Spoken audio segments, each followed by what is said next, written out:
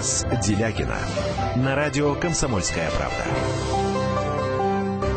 Самое лучшее проявление патриотизма – не воровать заявил президент России Владимир Путин, э, проводя итоговое совещание с представителями Федерального собрания. Здравствуйте, Михаил Геннадьевич. Э, добрый вечер, очень интересно. Хотелось бы персонально, пофамильно ознакомиться со списком людей, к которым он обратился с этим замечанием. Ну, списки не прилагаются, прямо скажем, к этой новости. Не прилагаются. Михаил Геннадьевич, да. ну, не прошло и нескольких часов с момента нашей последней встречи в прошлый понедельник, как Центробанк России да. А, Без объявления войны. Да, что самое интересное и печальное, сдвинул вверх ключевую ставку аж на 6 процентных пунктов, и тут понеслось. И за неделю столько всего произошло, Михаил Геннадьевич, что нам надо с вами два часа ну, сидеть. Для начала есть хорошая новость. Начнем сразу, что сегодня доллар а, потеряла 4 рубля, евро потеряла 5.30, и а, сейчас за доллар в обменке дают 54 рубля в среднем по Москве, то есть как и э, неделю назад. Ну, как будто и не было этой недели. Вот вновь повторяем эфир в прошлом Нет, на самом деле случилось, потому что очень много всего, и валютный-то рынок э, припал обратно, причем именно сегодня припал обратно, но э, банки сидят без денег, межбанковский кредит прекращен, а кредитование экономики прекратилось, потому что под Набиулинские 17% может брать кредит только торговля, во-первых, а те самые валютные спекулянты, которых всех так, всех так якобы дружно не любят, во-вторых, а, в-третьих, э, дома терпимости, и в-четвертых, наркоторговцы. Ну, наверное, кого-нибудь упустил, но явно не из легальных видов бизнеса. Так что вот кого реально стимулирует, на мой взгляд, госпожа Набиулина сегодня. Михаил Геннадьевич, а, давайте по порядку. Как вы оцениваете решение ЦБ повысить ключевую ставку на 6,5 сразу до 17 а, с целью удержать падение рубля? А, как способ уничтожения российской экономики в целях организации Майдана и э, совершения государственного переворота, хотя это моя личная оценка, и это мнение, и не более того, это гипотеза. Представить себе, что госпожа Набиулина не знает, всю богатейшую палитру методов валютного регулирования, которая есть, кроме простой процентной ставки, что она не знает, что можно запретить покупать валюту иначе, кроме как под контракт. Чрезвычайная мера 98 год. А, представить себе, что она не знает, что можно ввести свободную, а вернее обязательную продажу экспортной выручки. Представить себе, что она не знает, что можно ограничить движение спекулятивных капиталов. Я напомню, Великобритания несколько лет назад, когда в Европе возникла угроза кризиса евро, там они думали банкротить ли Грецию. Евро заколебалось в связи с этим, и англичане сказали, фунт стерлингов, безупречная рыночная валюта, свободная, конвертируем, все что угодно. Через сказали, ребята, если у вас будет продолжаться бардак, мы в случае чего оставляем за собой право ограничить движение спекулятивных капиталов. Не только выход из страны, но и вход в страну, если приспичит. В 97-98 году это тоже применялось. Это самые примитивные методы, есть более сложные методы, которые, ну, если Набиулина, она, конечно, назначена руководителем Банка России, она никогда никакого отношения к банкам не имела, она это может и не знать более сложных методов. У нее там есть, она, допустим, допустим, что она год не училась, просто сидела. Но у нее есть специалисты, которые должны это знать в деталях. Дальше. Полный криминал. Хорошо. Ночью голова работает плохо. Приняли решение, не будем материться в прямом эфире. Да, и записи тоже не будем. Хорошо. Угробили, угробили российскую экономику. Имели пример. В начале марта повысили на полтора процентных пункта ставку. Для начала марта это было, ну, чудовищно. На следующий день получили всеобщую панику. И 4 марта пришлось влить на рынок 11 миллиардов долларов, чтобы успокоить его, чтобы эту панику прибить. Резкого увеличения объема торгов э, в черный вторник не было. Было примерно как в понедельник, как и в прошлые дни. То есть паника была, но она была психологическая, она была, так сказать, не, не привела к увеличению объема торгов. А, значит, увеличение объема валютной интервенции по сравнению с понедельником позволило бы стабилизировать ситуацию, сбить и, может быть, даже развернуть рынок, сделать так, чтобы спекулянты стали играть за рубль, а не против него, как это удалось в марте месяце. А, госпожа Набиулина не увеличила интервенции, она их еще и сократила. Меньше двух миллиардов было потрачено в черный вторник. Соответственно, мы увидели катастрофу. Реально. Что это, во, во что это обернулось для людей, особенно людей, которые не очень понимают, как работают банковские механизмы. Безумное количество людей, например, попало, знаете как? Когда у вас э, карточка э, рублевая, но с возможностью осуществлять операции, конверт, конвертации. Вы покупаете сегодня по сегодняшнему курсу валюту своей карточки, а операция окончательно оформляется в течение двух-трех банковских дней. Вот есть люди, я просто читаю в соцсетях, которые через систему онлайн Сбербанк так попали на 30 тысяч рублей. Ну, по крайней мере, по сообщениям в социальных сетях. Вот. При этом, естественно, когда возникает паника, то начинает плохо работать все, потому что у всех трясутся руки. Это продолжается до сих пор. Вот. Так что валютный рынок, да, немножечко стабилизнули. Немножечко, самую малость. Потому что, вообще-то говоря, с точки зрения той девальвации, которую э, экономика способна воспринять как позитивный сигнал, то 40 э, рублей за доллар к 30, к 30 декабря, а все, что сверх этого, все от лукавого, ну или от лукавых, учитывая, кто, кто, кто руководит Банком России. Вот. А что касается рынка, денежного рынка, то это катастрофа. Ну, кто будет кредитовать экономику под 17%? Сбербанк там под 26 или 28% процентов трехмесячные депозиты рублевые предлагал своим постоянным клиентам. Сбербанк, который по теории должен захлебываться от рублей, и куда люди бегут с рублями в каждый кризис. Сейчас мы видим сообщения, что там проблемы с э, валютой у людей не могут снять валюту со счетов. Да, и называются конкретные банки, не только Траст. Банк, который, так сказать, у которого, как я понимаю, называется лицензия, 30 миллиардов рублей ему вроде бы уже собираются давать и так далее, и так далее. Вот. У нас перед началом этого кризиса агентство, фонд страхования вкладов сократился практически втрое по своему объему. Что там сейчас происходит? Его нужно срочно туда направлять деньги дополнительные. Ну, обо всем поподробнее поговорим и о трасте, и о заявлении Пекина протянуть руку помощи Москве и нашему рублю, если он начнет тонуть. В общем, обо всем по порядку, но сначала если короткая реклама и выпуск новостей. Доктор экономических наук Михаил Делягин в нашей студии. Час Делягина на радио «Комсомольская правда». Темы, о которых говорят. Небанальные точки зрения, мнения и факты. А еще Хорошая провокация. Губин Live. Каждый вторник, четверг и пятницу после шести вечера по московскому времени на радио «Комсомольская правда».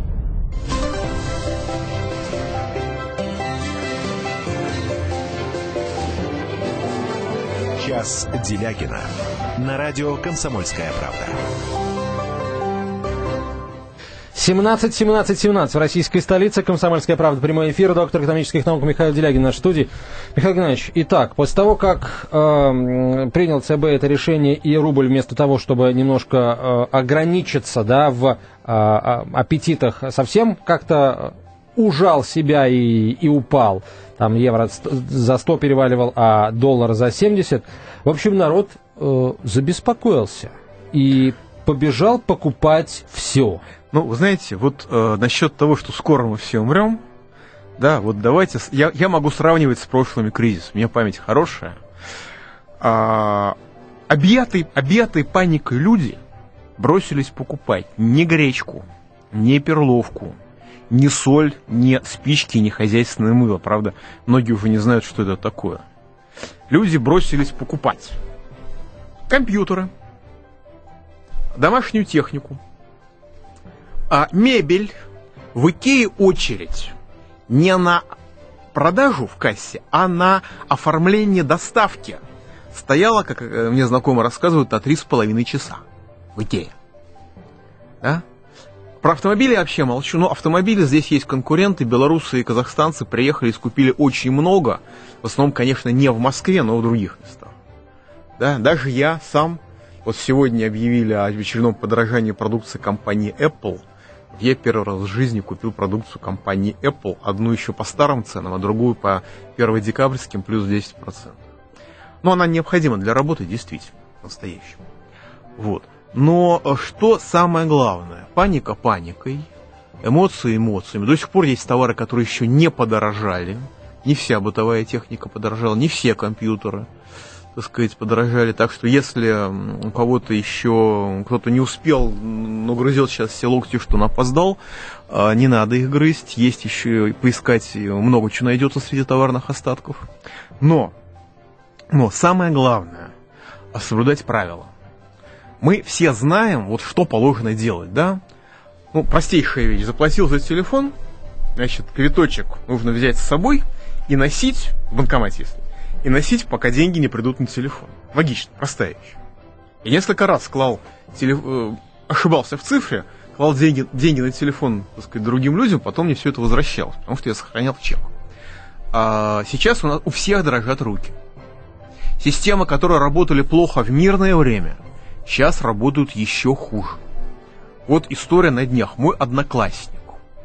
Вот, как бы, вот, вот, вот. Ну, фактически как на духу, да, из первых да, как уст. на духу а, у человека заявились деньги 105 тысяч рублей.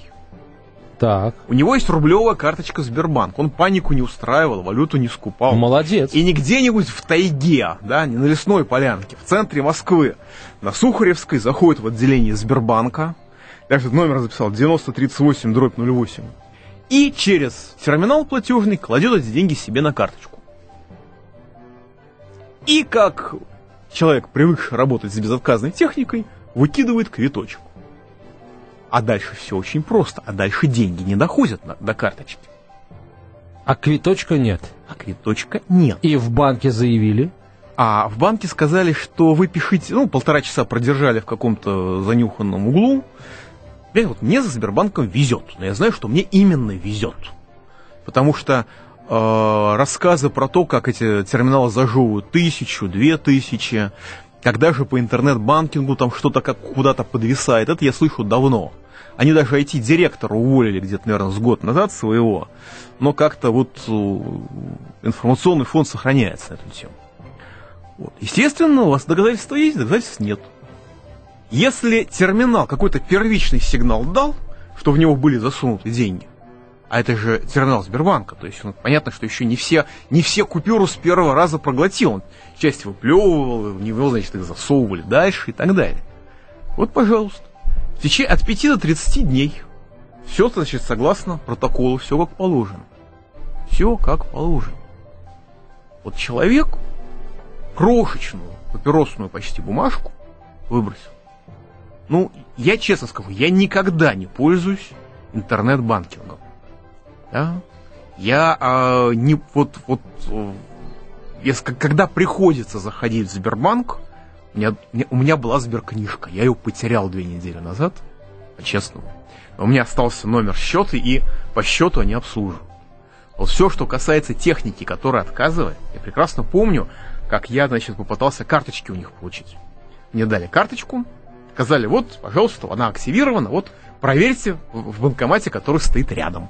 Я проверил в банкомате, который стоит рядом, она не работала. Когда я пытался позвать на помощь и попросить помощи, выяснилось, что помочь мне некому в этом отделении. Тоже центр Москвы, тоже не тайга. Вот так что есть системы, которые работают плохо и в мирное время. Связываться с ними во время кризисной не нужно. Но если уж связываетесь, то, пожалуйста, вот есть процедура, да, вы обязаны хранить бумажки. Вот храните, они вас выручат. Хорошо, Михаил Игнатьевич. А сейчас потихоньку ажиотаж с а, покупками всего, а, что плохо лежит и еще не что хорошо лежит, что да. хорошо лежит. Хорошо стоит, будем так говорить. Он потихонечку спадает. То есть, правильно я понимаю, да, что сейчас коротко, вы считаете, что это была неверная стратегия, вкладывать деньги в товары длительного пользования? Или, или как? А, вы знаете, если вы думали, значит так, вот если я этот товар обязательно должен буду купить в течение следующего года, позиция правильная. Более того, лекарства подорожали очень сильно во многих местах. Но если вам нужны или вашим близким лекарства редкие, то лучше купите сейчас, с учетом, разумеется, срока годности. Потому что ассортимент будет портиться. Неважно, что будет с рублем, экономическая конъюнктура Набиулиной уже подрезана под самый, под самый корень. Соответственно, а, э, ассортимент будет сокращаться. Редкие вещи найти будет сложно. Вот если вы фанаты каких-нибудь электронных гаджетов, вот, вот какой-нибудь супер-супер-супер навороченный, которые бывают там крайне редко, и вы не можете без него жить, тоже, пожалуйста, купите заранее, не откладывайте на период через 5 месяцев, потому через 5 месяцев, может быть, его придется покупать где-нибудь в duty-free нерусифицированный. Хорошо, а если это вот э, покупка как по попытка сохранить деньги, ну растет же э, в доллар и евро, будет стоить в долларах и евро дешевле моя покупка, но в рублях-то дороже? Как известная шутка, что я от этого айфона греться буду ночью? Если вы купили ненужную вам бытовую технику, что вы с ней будете делать? Продавать. БУ поддержанную, Да. пусть даже и в упаковке. Да. Ну, то есть не работает. Это, это, это ошибочная стратегия. Это не ошибочная стратегия, это Мерседес сегодня подорожал на 40%. например. Да, причем официальное То есть, если было, вы да. купили нов- новенький Мерседес по старой цене, ну, плюс 25 вы выиграете на этом. Хороший, нормальный бизнес. Вот. Но если вы хотите, так сказать, заниматься своим делом, а не малым предпринимательством или индивидуальным бизнесом, да, то это довольно странно. Но, понимаете, вот бывает так, вот у меня, вот моя конкретная история. Я собирался купить себе Mac, компьютер. Я его собирался и собирался и собирался, года три собирался. Мне все рассказывали, какая шикарная эта техника. И, ну вот мои дарования все еще, так сказать, пашут иногда, если по ним кулаком ударить. Сильно. И Я понимаю в связи с кризисом, что в ближайший год мне все равно нужно будет покупать компьютер, потому что дрова приходят к нулю. Я купил. Эта позиция нормальная. А если впрок запасать, ну, в 98 году, после, дефол... после тогдашней девальвации, я купил коробку, в том числе импортного сапожного карема, которым пользовался с наслаждением до следующего кризиса. 10 лет, да. 10 лет. Не ах, как разумный. Такие, почувствовал, почувствовал себя котом Матроскиным с дядей на э, гуталинной фабрике. Михаил Геннадьевич, тогда вот вопрос. А Сейчас, а, после того, как ажиотаж подутих, подупал по покупке а, всего, что плохо э, или, наоборот, хорошо лежит, эксперты начинают в один голос говорить, ребята, сейчас наступает благодатное время для тех, кто не поддался панике, у кого остались деньги, потому что банки, хочешь не хочешь, воленс ноленс, придется, бу- будут увеличивать э, процент по вкладам. И вот этим-то и надо воспользоваться. Естественно, делая поправку на, а, на серьезность, на размер и, в общем, на качество Вот этого банка. я повторюсь. Альфа-банку. Альфа-банку. Сегодня прошли информации, что народ жалуется, что в том числе в его отделениях где-то как-то не дают валюту по расторжению депозитов. Обещают когда-нибудь. Но, в принципе, если я миллион долларов прихожу снимать без наличные, бе- меня, естественно, должны послать по закону, по правилам. Потому что выше определенной суммы, это нужно специально завозить эту, эту сумму денег инкассаторам в эту кассу, и без заказа их не выдают, это нормально. Но все равно, так сказать, морозец по коже проходит. Так что, с моей точки зрения, конечно, могу ошибаться, но госбанки. Госбанки и не по 700 тысяч рублей в валютном эквиваленте, а по 500 тысяч. Потому что качнуться может в любую сторону. Так у нас же вот до, до полутора тысяч, до тыс- миллиона четырехсот тысяч подняли этот Где размер подняли? Когда? гарантии. Ну, а, Это разговор после, идет. после новостей поговорим, Михаил Геннадьевич, после новостей. Час Делягина на радио «Комсомольская правда». Каждую субботу с 16 до 17 часов на радиостанции «Комсомольская правда» я, Леонид Альшанский, почетный адвокат России, веду передачу «Народный адвокат» и отвечаю на ваши вопросы по проблемам административного права, ГАИ, таможенник, пограничник, гражданского права, дачной амнистии, земельных отношений, обманы страховых компаний. Обо всем этом вы услышите в наших передачах каждую субботу с 16 до 17 часов.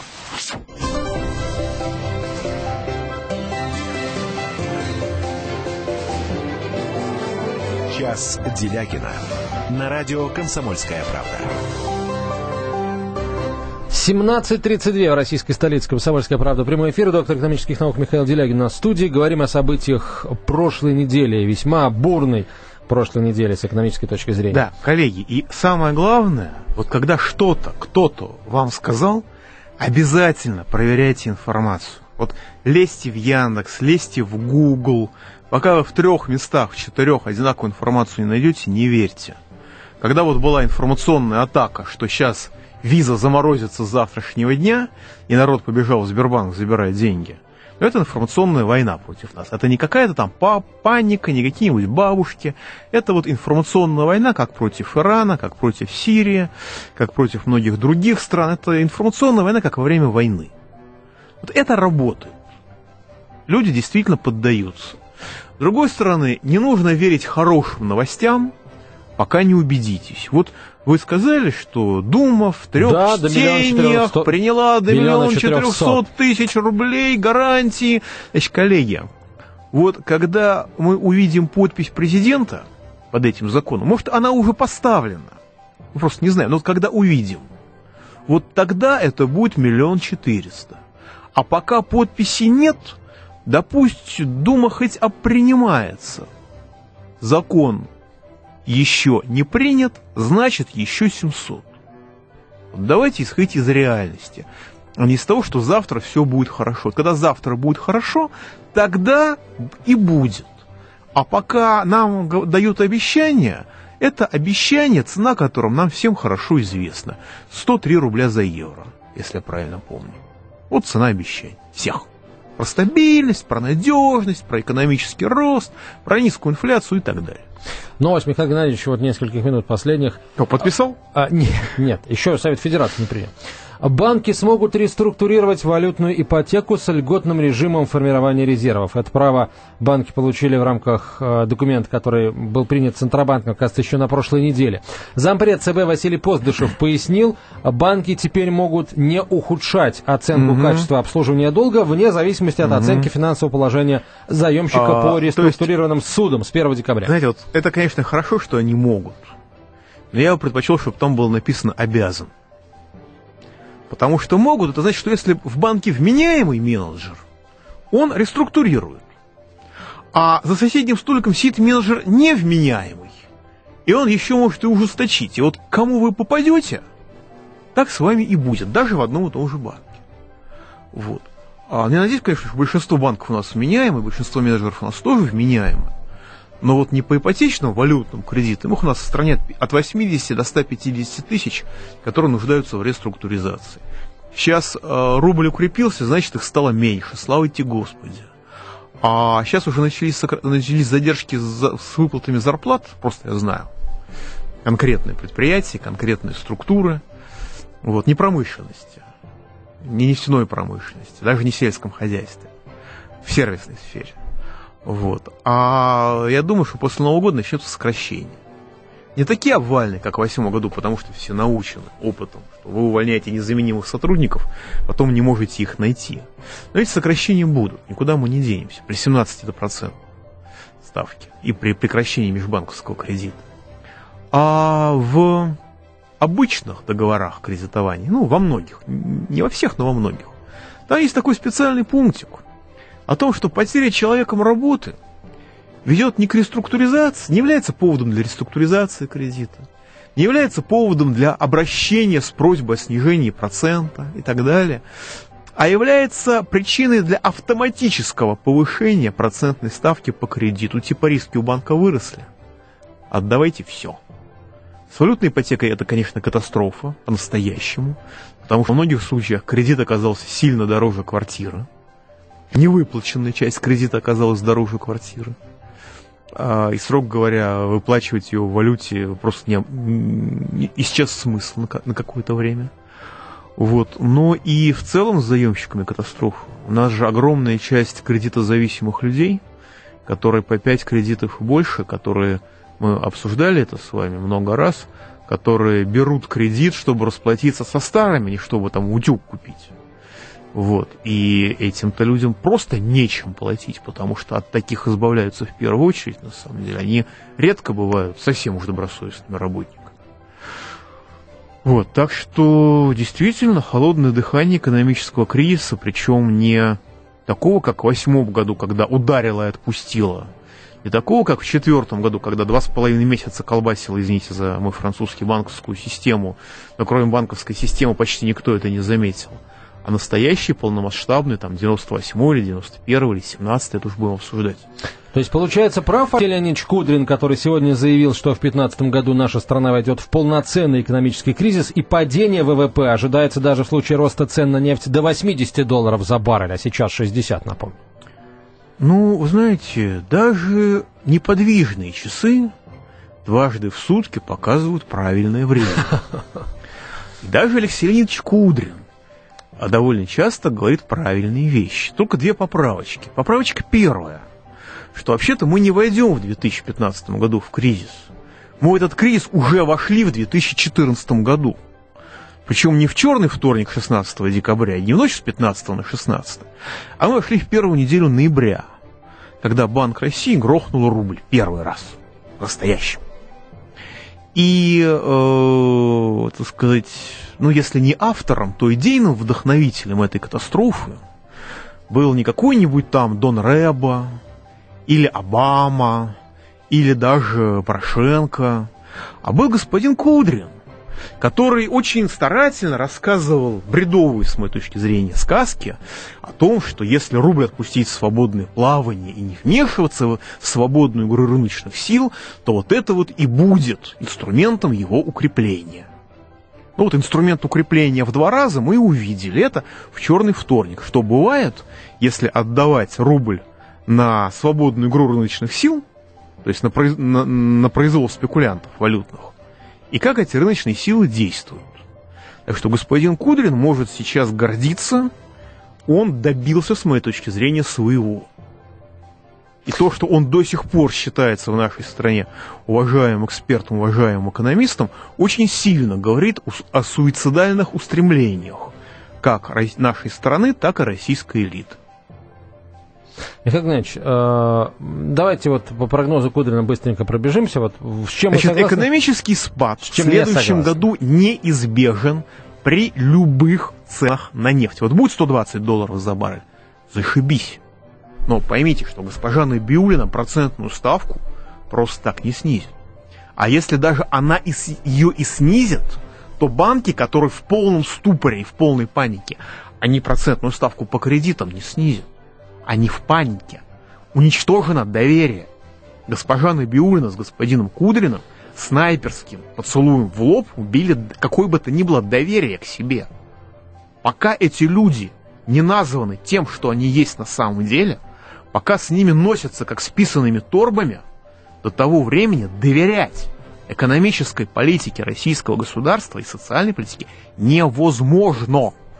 Потому что люди уничтожают экономику, и после этого их носят на руках и рассказывают, какие они милые и хорошие.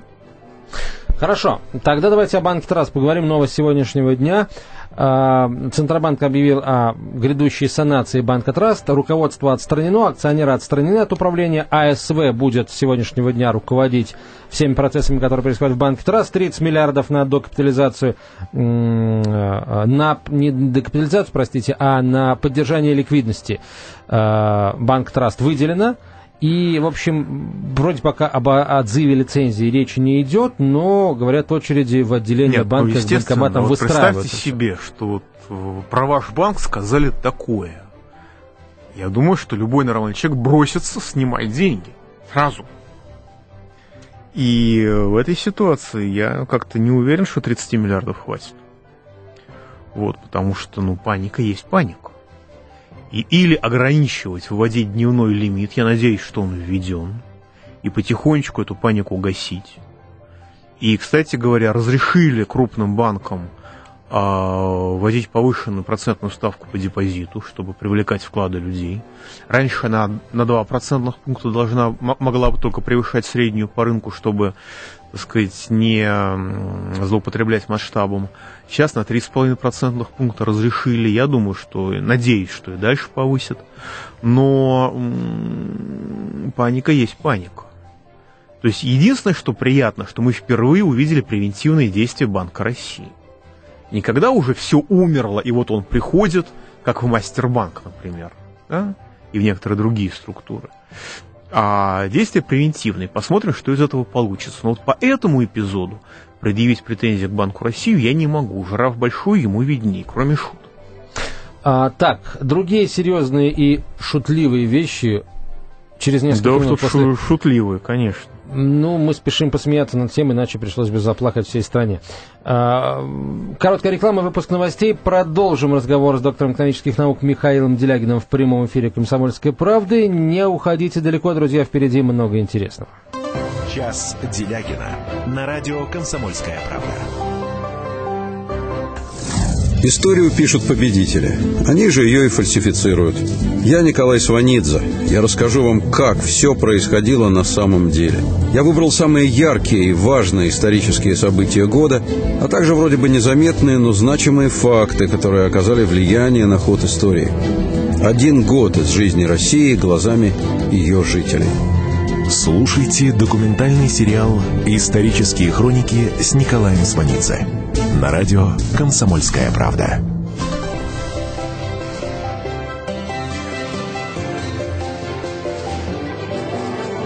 Час Делягина на радио «Комсомольская правда». 17.47, российская столица. Вы слушаете радио «Комсомольская правда». Доктор экономических наук Михаил Делягин в нашей студии. Михаил Геннадьевич, э, на фоне э, всего, что происходит с российской экономикой, на фоне вот э, заявление Барака Обамы, который сказал, а, отвечая на вопрос о том, что Путин его переиграл, сказал, вот смотрите, да, у России экономический кризис, рубль падает, где ж тут переиграл, а, выходит официальный представитель Китая, Ван И, министр иностранных дел Поднебесный, говорит, что в случае необходимости китайский товарищ протянет руку российскому товарищу руку помощи, даже обещал многомиллиардный своп в юанях. Вот, расскажи, что такое ну, своп в юанях. Ну, это обмен э, рублей на юаня. Это соглашение было подписано в октябре. А часть мы осуществили обмена уже. И поскольку рубль после этого рухнул вдвое, но сейчас, правда, отрос, то был момент, когда китайцы понесли довольно большие потери, и их газета «Финансы» по этому поводу выла очень сильно – но сейчас рубль укрепился, поэтому их потери резко снизились и находятся, в общем-то, в пределах нормальных. Вот. И это заявление, ну, с одной стороны, это не благотворительность, потому что в рамках соглашения о обмен по а, рыночному курсу, то есть это не подарок, а с другой стороны, есть стратегия, и э, Китай прекрасно понимает, что на Россию обрушились не за Крым, на Россию обрушились в силу большой политики, в том числе потому, что Россия является партнером Китая. Есть очень интересная ситуация. А, и Украина была разожжена американцами в том числе потому, что Евросоюз сам по себе не может быть а, участником глобальной конкуренции. Он может быть участником глобальной конкуренции полноценным только в партнерстве с Россией. И украинская катастрофа была организована американцами в том числе для того, чтобы не допустить этого союза. Получилось, теперь Евросоюз это задворки Оклахомы, грубо говоря. А, навсегда в политическом плане.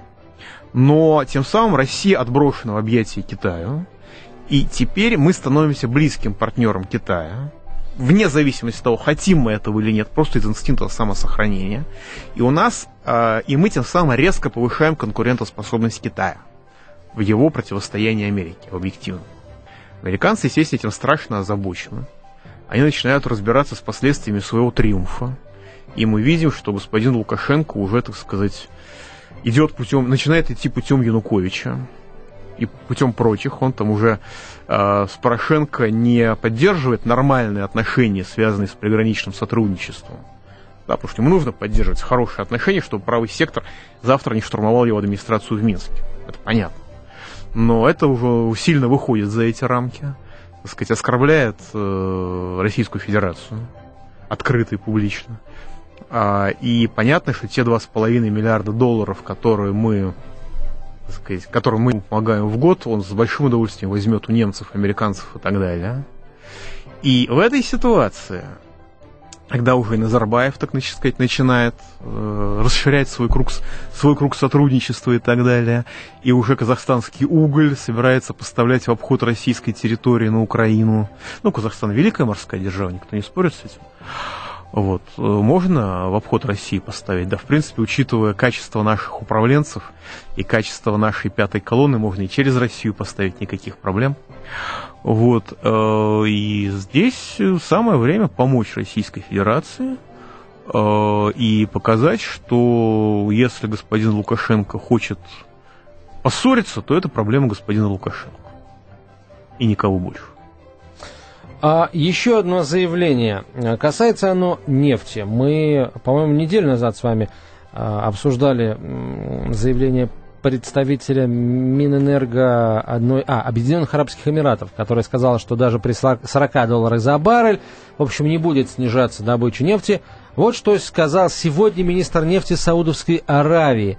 Зовут его а, Али Аль-Наими. А, вот интересно, кто его нанял. А, глава Министерства нефти Саудовской Аравии Али Аль-Найми заявил, что королевство сохранит объем добычи на текущем уровне, если только не появятся новые клиенты, тогда мы ее нарастим вообще. Ну, ОПЕК не управляем.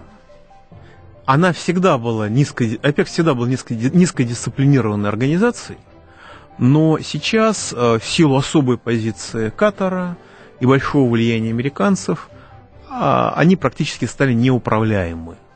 И Саудовская Аравия не может обеспечить снижение цен на нефть при помощи сокращения добычи, потому что не потому что сланцевая нефть, а потому что да, другие, другие же члены ОПЕКа нарастят добычу. Им это не интересно. Они могут только поддерживать какой-то курс. Э, это заявление имеет смысл, что вот уважаемые ливийцы сократили поставку, потому что у них там демократия разгулялась до такой степени, что поставила под угрозу даже нефтеналивные терминалы, впервые, по-моему, в истории. Вот. Ну и, э, с одной стороны, сокращение добычи, с другой стороны, может быть, действительно появится какой-то дополнительный спрос где-то как-то. Но это отражает тот факт, что ОПЕК, по сути дела, перестал существовать. Вот интересно, если не сказать э, забавное, но тем не менее внимание, внимание нужно этому уделить, я думаю. Одним из путей защиты российской экономики должна стать новая православная финансовая система, Михаил Геннадьевич, которую уже готова создать группа финансистов, а, заявил сегодня на пресс-конференции в агентстве ТАСС председатель отдела а, Московского патриархата по взаимодействию церкви и общества протоиерей Всеволод Чаплин. Необходимо в мире наращивать роль механизмов, не основанных на ростовщичестве, ростовщичестве, заявил он, иначе наступит неизбежный конец финансового пузыря, работающего по принципу «деньги делают Э, деньги. В общем, проект предполагает выделение денег не под процент, а под прибыль будущего предприятия. А еще православная финансовая система подразумевает отказ от участия в денежных потоках от производства табачной и алкогольной продукции, горного бизнеса, э, использования труда нелегальных Я мигрантов не понял, и других почему вещей, это, неодобряемых христианством. Почему это православный банкинг, когда вообще-то это банкинг исламский? Это правило изложено исламского банкинга. Он существует много времени, много лет. Это вместо кредита участие в прибыли. Вот. Это особый способ ведения бизнеса. Он действительно менее спекулятивен, э, и поэтому, кстати говоря, менее эффективен, потому что спекуляции все-таки повышают эффективность. Но все, что я могу сказать по этому поводу. Вот очень многие у нас, так сказать, воинствующие православные деятели, я уж не знаю, как они там верят, не верят, это не мое дело, но они ведут себя так, что так и хочется им сказать, дорогие друзья, вы зданием не ошиблись, мечеть-то через дорогу. А, последний, наверное, сегодня вопрос, Михаил Геннадьевич. А, сейчас все ждут Б от Центробанка. Ну, а, Что подняв... такое Б от Центробанка? Я сейчас объясню. А А от Центробанка это, это увеличение, э, так сказать, ключевой ставки. Все говорят, какой, каким будет Б от Центробанка, потому что действительно ставка на уровне 17% убивает а, финансовую систему. знаете, Каким он будет, это Б, как думаете? Проблема в том, что не под только 17% убивает. Вот если они сейчас снизят условно до 7%, кредит, стоимость кредита снизится незначительно. И масштабы кредитования вырастут незначительно, потому что доверие уже разрушено.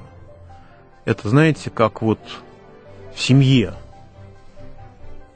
Друг, под, передрались, друг друга избили – пошли развелись, из-за какой-то ерунды. А сказать, ой, да, кстати, слушайте, а ерунда так это действительно ерунда. Да, можно отменить причину, но следствия останутся. Поэтому, э, какое бы ни было «Б», знаете, контрольный поцелуй в лоб уже произведен. И мы живем в условиях, уже сейчас, в условиях жуткого экономического кризиса, и нужно коренным образом перестраивать всю социально-экономическую политику, я уж не говорю про, госу, про госуправление, а, в режим этого кризиса. А Причем, а, более того, в режим, по сути дела, пусть и холодной войны, но все равно в режим военного времени.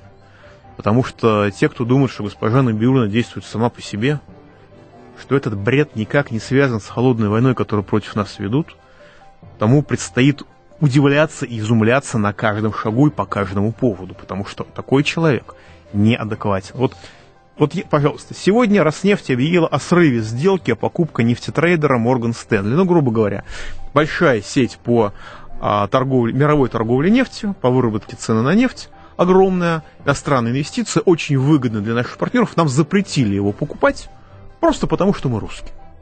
К вопросу об иностранных инвестициях, которые должны быть открыты, прозрачны и так далее. Михаил Геннадьевич, через неделю давайте итоги года подведем. Счастливо. Кто владеет информацией, тот владеет миром. Будьте в курсе событий, находясь вне дома или офиса. Установите на свой смартфон приложение «Радио Комсомольская правда». Слушайте в любой точке мира. Новости, интервью, комментарии. Доступны версии для iOS и Android. Радио «Комсомольская правда». В вашем мобильном.